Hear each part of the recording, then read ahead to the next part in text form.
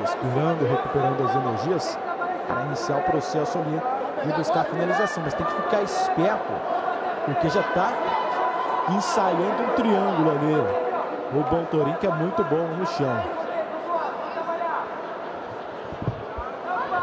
Segundo round de duelo. Imotal FC, para você na tela dos canais Esporte Interativo. Olha o triângulo aí, ó. Olha aí,